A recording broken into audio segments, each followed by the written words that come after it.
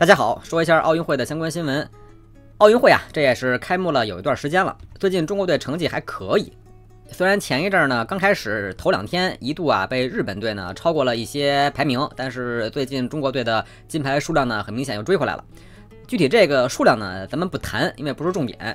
说一下咱们的游泳代表队，七月十八号，这是叫于良，他叫微博号叫于良运动营养啊，这是他们的营养师。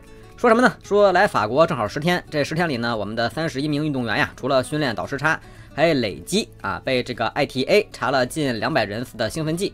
ITA 是这个国际兴奋剂检测组织，就专门呢去查世界各国兴奋剂使用情况的。之前呢，本频道在大概四五年前那会儿，孙杨那个年代呢，其实连着大概有好几期啊啊说过这个事情。当时呢，ITA 也是突击检查了孙杨，结果孙杨选手呢用一些不太合适的方法呀啊阻拦了 ITA 的检查，人给他取完样本了，他拿这个锤子啊还是什么我忘了，给那个样本啊给砸了。然后呢，反过来呢质疑说你 ITA 带来的陪检人员有的人没有资格证书啊。这 ITA 解释呢说我的规定里没有要求说必须每个人都需要有药检的证书啊，只要领队就 OK 了。然后这个事儿呢，反正在撕逼嘛。然后后来孙杨被禁赛了很多年，前一阵呢也算是复出了。但是黄金的这个时期啊，应该说过去了。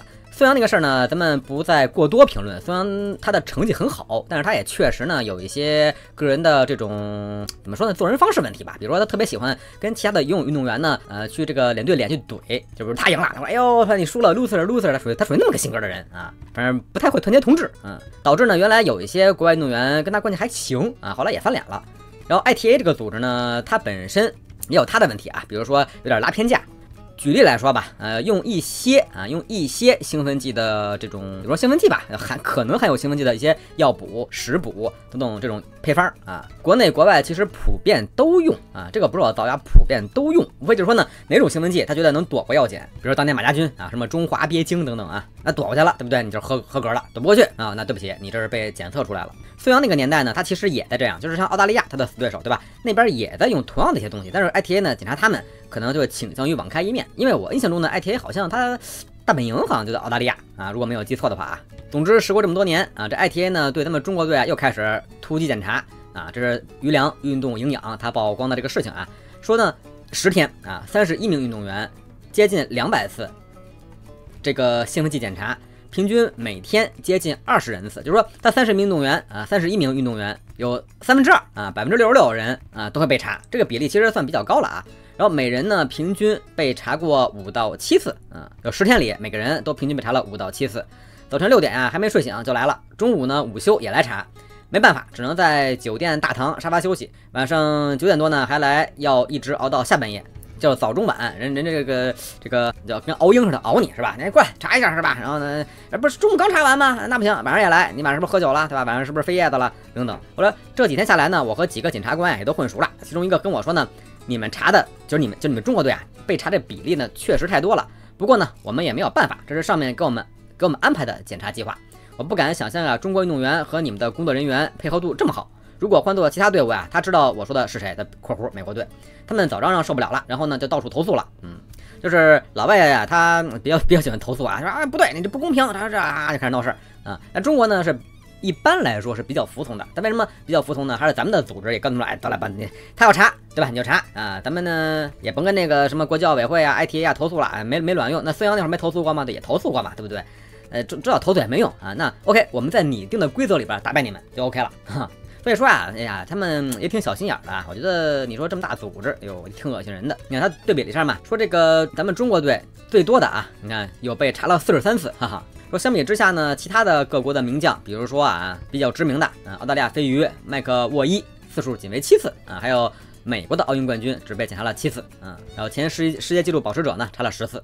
你看这有对比的清单嘛？你看上面是中国队的，呃赛内检查、赛外检查总共被查了四十多次啊，最少的二十多次。呃，到了美国呀、澳大利亚那边，你看很明显呢，就这个数量啊就开始了，哈哈，就差一个档次嘛。嗯，在美国那还有零次的啊，那说明他的成绩很好，或者说呢他的这个口碑很好，有可能吧。嗯，有人说呢，这是因为啊，呃，游泳一直是美国的强势项目，所以他们呢为了哎能得冠军，所以会用一些他们制度里边或者体制里边合理的打压方式呢，来排挤他们的一些竞争对手。可能他们眼中，对吧？那跟那个那咱们跟苏联似的，前苏联似的，你瞧对吧？你看我们都是说英文的，大家说英文的话，我们该团结一致，对吧？你像像这个红色的，是不是？你要就是嗯，现在现在毛都不行了啊，这中国人啊，黄皮肤的中国人啊，就他就是我们当时一个新冷战啊，这种敌对意识啊，我觉得可能贯彻在很多方面啊，嗯。这个有人说呢，呃，规则呀是建立在公平的基础上。明显对你不公平的时候呢，需要的不是遵守规则，而是斗争。不要用遵守规则啊来开脱我们某些吃皇粮的部门的无能与不作为。嗯，一百一十个赞啊，其实也正常。为啥呢？中国的官员知道啊，最重要的一点是什么呢？怕惹事儿啊，他怕呢引发一些外交争端啊。假如说啊，你为这些运动员去据理力争啊，到时候呢，一旦啊国教国教委会啊，什么这个 ITA 呀等等组织反过来啊，开始质问你的领导这事儿呢，你说你又决不了策，你是不是得跟领导请示，对吧？那么你你领导怎么想？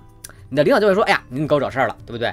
啊，那不就配合要减吗？啊，那那别人十次啊，咱四十次，怎么了？啊，现在这么牛逼啊？可能领导这么想的啊？咱们是特别讲究一个中庸之道啊，倾向于去和敌对势力呢进行妥协，而不是说呢你死我活。但一般老外不是这样，老外真的就你死我活啊，就是我我我认为你不公平啊，那我游行去，我我拉横幅去啊。那中国呢，一般就是哎，得了，苟着吧，苟着吧，对吧？你说也也没到这个要死的时候，是不是？何必呢？犯不上啊。所以底下官员呢也倾向于就是和稀泥，因为你这把这事给挑起来了。对不对？你可控还好，有好结果可能更好。但是呢，这个你的领导可能就会觉得说你这个人，哎呀，是个不稳定因素啊。尽管说你的结果是好的，但是你不稳定啊，你不可控，你会给我带来变数啊。因为确实嘛，你只要配合药检，人也说不出来你啥东西，是不是？但是一旦你说你把这事儿上升了啊，有可能成为一个上新闻了啊，成为国际终端了啊，国际争端了，那那就出问题了。咱们在这方面是很少去做这种什么舆论影响啊，啊舆论干涉呀，因为咱们倾向于认为，哎，我就踏踏实实啊拿冠军、拿亚军，对吧？拿这个金牌、银牌就 OK 了。除此之外啊，新闻不要去节外生枝啊，引发社会讨论，这才是很多官员的一个一贯的作风啊。你看还说投诉无用啊，人家另说，但是遭到如此明显不公，你们竟然不投诉，对吧？人人家不想投诉吗？对吧？人知道第一是投诉确实没用，第二是 人人家不让你投诉，行吧？还说体育总局在哪里啊？该作为的时候呢就要作为，别人欺负你你不反击，别人只会更加欺负你啊！美国队人均哮喘、心脏病怎么不说啊？要不要投诉、抗议和起诉啊？他说为什么说心脏病和这个哮喘呀？是这样的啊，呃，很多这个药物啊能增加你的这个兴奋的作用，让你的体能更好。比如说一些哮喘药和心脏病药，就是啪一喷啊那种玩意儿。但是这玩意儿你能随便吃吗？那不行啊！国际泳联是允许这个哮喘呀、心脏病的这些患者来参加的啊，这是他的一个规则漏洞，或者说诚心放的那个后门啊。美国人，你要是去西方，你经常发现啊，就是西方世界呢，很多人都有这个什么哮喘呀，什么反正这种这种呼吸道疾病啊，或者这个心脏疾病啊，所以他们经常动不动腾一喷，拿拿那个玩意儿。那问题是怎么判断你有没有哮喘病和心脏病？那好开啊，对不对？我我有自己门路嘛，我得安排一下，我找个医生啊，然后呢就诊断你说，哎，他就是有哮喘病，他就是有心脏病，他就需要吃这个药，对，你给不给他开？你得给他开吧。那开完之后是不是？那他喷这玩意儿，那等于打了一个合法兴奋剂，那他成绩就是比你好嘛，嗯。还有人骂体育总局，说体育总局为什么不发声？哎呀，体育总局的它的绩效，它的 KPI 是什么？不是为你争口气，不是为你争脸，他们的 KPI 拿金牌啊，拿金牌，还有银牌，还有铜牌啊，各个比赛成绩我拿第一，这是他的 KPI，他没有义义务呀啊，服务于你这些网民。你现在义愤填膺，是因为有这么一篇文章把这个事情呢给揭露出来了，对吧？你很气愤啊，你希望这时候有个人能把你的这个这口这口闷气呀啊给他抒发出来。于是你选择骂一个人，骂谁？想半天啊，体育总局，什么永联？问题是，他不为你服务啊啊，他跟你是个平行机构。他说你骂你骂就骂呗，对不对？我能拿金牌就 OK 了。除非 说我的直属领导啊给我下命令说，哎，现在舆论有这种发酵了，你们得回应一下。那领导安排任务了，我出了个新的绩效啊，我出了个新的业务指标，我才会正儿八经回应这个事情。网民呢，经常会认为自己这个舆论很有用，当然是有用了，但是得成为一个非常普遍的全民讨论的一个现象，由此引发了天庭震动啊！只有天庭震动这个级别，体育总局这种组织，才会领命，哦，对吧？天庭震动了啊，领导发话了，那我得这事儿，我得正儿八经解决一下了。这时候他才可能硬刚，为什么？我有尚方宝剑了啊，我有这个十二道金牌了啊，我是师出有名的。那没人给我金牌，没人给我尚方宝剑，对吧？我干嘛要去斩别人呢？没有必要啊！到惹一身事儿就就多恶心，是不是？我的乌纱帽就没了，还是这种避险思维啊！